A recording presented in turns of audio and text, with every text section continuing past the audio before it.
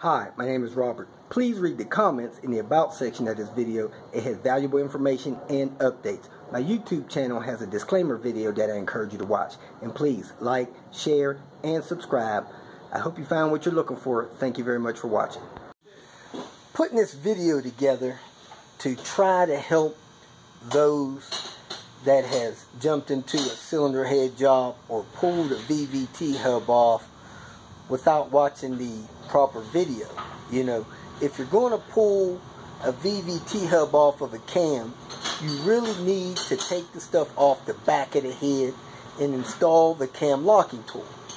If you don't have a cam locking tool installed, I, I don't even know how you got that VVT hub off, be honest with you. That bolt is torqued in there, holding that hub against that cam. I don't know how you broke it loose without a locking tool. Anyway, here you are trying to get the stuff back together. So I'm making this video to try to help you get as close as possible without, you know, having timing issues and timing codes and rough running.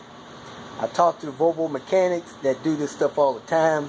They said some variants of this uh, job, you almost have to get a new hub to avoid getting error codes. Anyway, this is my advice. I hope it helps engine with no belt on it. You got your uh, crank sprocket. You got your two marks there, little marks. This is your oil pump. That's the mark that this stuff is supposed to be lined up with. As you can see, this one is off about a half a tooth. Now, these engines are timed with marks. They're not timed by having a piston top dead center. So don't even contact me talking about top dead center. It's not how these things are timed. You're going to get yourself in trouble. Tensioner pulley, idler pulley, water pump, VVT hub, standard camshaft uh, pulley sprocket, whatever you want to call it. This one is standard. It has slots in there. It can be off time a little bit as well. But this is the one that people have all of their problems with. If I had to guess, I'd say this engine came out of a 99 or 2000. Anyway, an earlier version of the ones with the VVT hub. The intake cam here has the numbers along the bottom of it. The slot is actually offset to the top. This is the exhaust cam. The slot is offset to the bottom. It has a notch in the bottom the numbers are going along the top of it. As you can see, if you had to put the locking tool on, this would turn a little clockwise to straighten this out, and that timing mark can still be on. That's why it's variable timing. The sensor could actually make the timing adjust while the engine's running, and it has somewhat of an adjustment. These are interference engines, so you don't want to be too far off on the timing, or you'll have problems.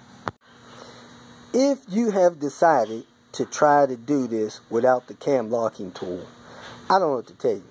You more than likely are not going to get that right. I don't know who you need to talk to, but without the cam locking tool, I have no advice for you at all. Get the cam locking tool, install it, intake cam numbers on the bottom, slots offset to the top, exhaust cam numbers across the top, the slot offset to the bottom, and this one actually has a notch in it. Let me show you one more that has been put together and then we'll talk about the front of the uh, VVT hub. Right in behind here so you can see same situation with this VVT hub. The slots almost straight across. It had that cam locking tool on. It's been removed and it's got that little notch on the bottom side.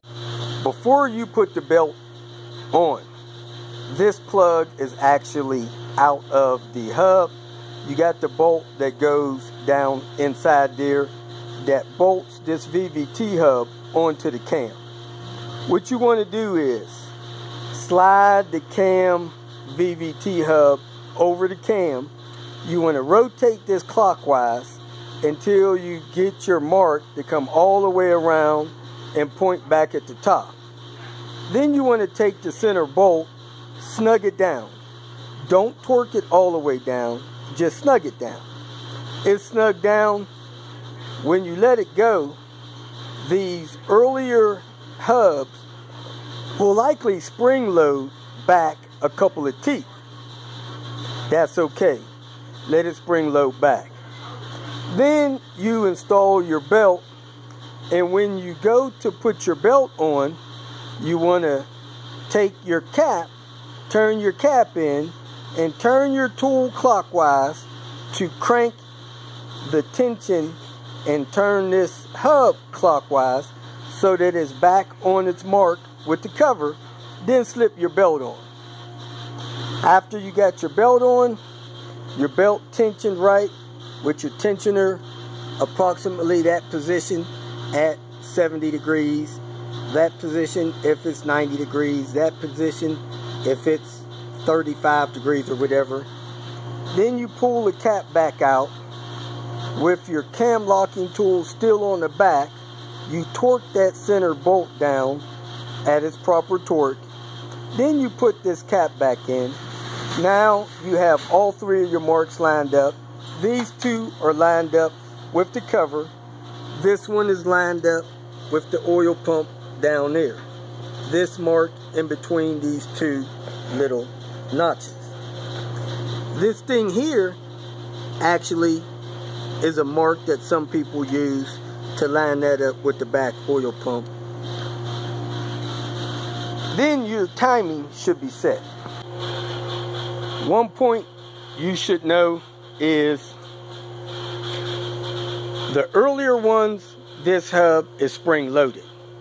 So you rotate it around clockwise, you snug the center bolt, then when you let it go, it will probably spring load counterclockwise a tooth or two. That's how it should happen. On the newer models, these hubs are not spring loaded, they just have play in them. So, after you have the hub set, you can loosen these smaller bolts out here. They may be 8 millimeter, but once that's set in there, you want to try to center these as best you can so that you have the play on both sides of those bolts. Snug those down. That is where you want your initial setting to be.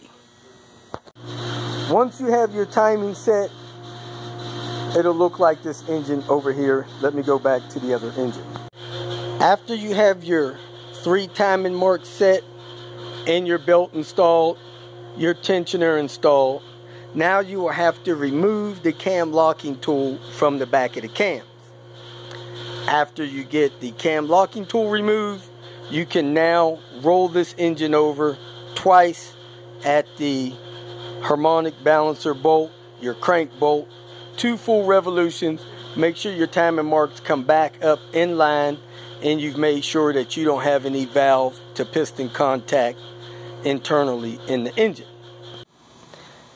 After you've um, started the car, if you have some kind of uh, error message for timing, you can actually adjust the timing with three these three bolts a little bit counterclockwise or a little bit clockwise to try to correct your timing setting. Not sure how to tell you to do that, but that is some play in here that you can adjust timing to try to get your error codes away. My understanding, if you're dealing with the newer cars, S40, V40s, V50s, C50s, a lot of times these hubs are one-time use. Once you take them apart, you often have to replace them with a new hub to get rid of your error codes. I hope that helps. That's all I got. Again, I don't know how you can do this without the cam locking tool, but if you try, good luck. Don't bother calling me. If you feel that this information was useful, please like it and share it with your social media friends. You can subscribe to my channel so that you will get notifications of future videos that I post. You can follow me on Twitter, and if you need to contact me directly, please visit my website. And if you have any questions, leave them below, and someone or myself will reply to them. Again, thank you very much for watching.